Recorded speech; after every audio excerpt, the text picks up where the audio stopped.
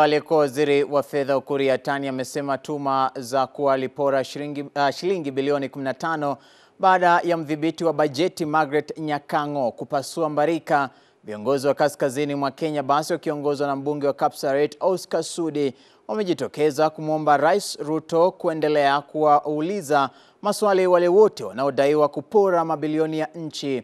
Naibu Rais Gachagua kwamba alisema kwamba shilingi bilioni 1.5 Yatani huko akitaarifu kwamba vyumba vya habari anasema kuwa itamchukua hatua za kisheria mdhibiti wa bajeti Margaret Nyakango kwa kumtumia tuma za uongo na uovu.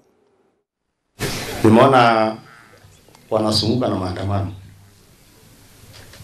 na wao wanadanganya wananchi ya kwamba hii serikali ya Kenya Kwanza, hii serikali ya William Ruto lazima iteremshe bei ya chakula, lakini ile hawataki kuambia wananchi, ama wanafikiria wananchi wa Kenya ni wajinga zaidi. Wamesahau chini ya mwezi sita hao ndio walikuwa kwa uongozi, na hiyo mambo yote wanatuambia tulipata na tunajaribu kurekebisha.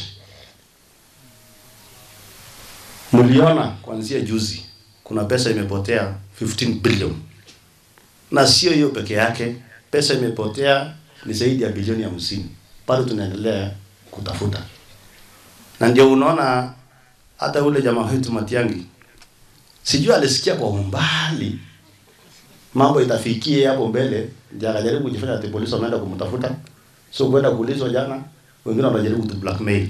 Serikali ya Kenya Kwanza sio serikali ya kulipisha kisasi, sio serikali ya wichan, lakini pia msisahau hii ni serikali kama ile serikali mlikuwa naye. Pia msituoneshe kidole kwa mapua mfikiri tutanyamaza. Hawa waizi wenye waliiba hii pesa zaidi ya bilioni 30 yenye tunaendelea kutafuta, lazima wajitokeze. Hiyo pesa ilienda Malaysia, sijui ilienda wapi, sijui ilienda wapi. Lazima Wakenya wajue. Wakenya watalala njaa, Wakenya hawata struggle watoto wao kwenda shule. Nyinyi watu wasimia, mtu atusukuma ati chakula iteremuke, sijui nini ifanyike, na mnajua kenye mlifanya. Ile pesa ilitolewa kulipa barabara ya Maram 2 billion. Uguru tani utatuambia.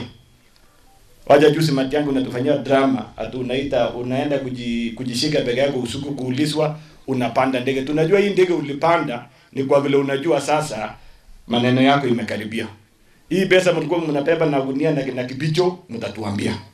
Wewe Masharia, Kibicho, Uhuru Tani ambaye mwenyewe alikuwa anatumika na State House kuintimidate control of budget. Your time is coming.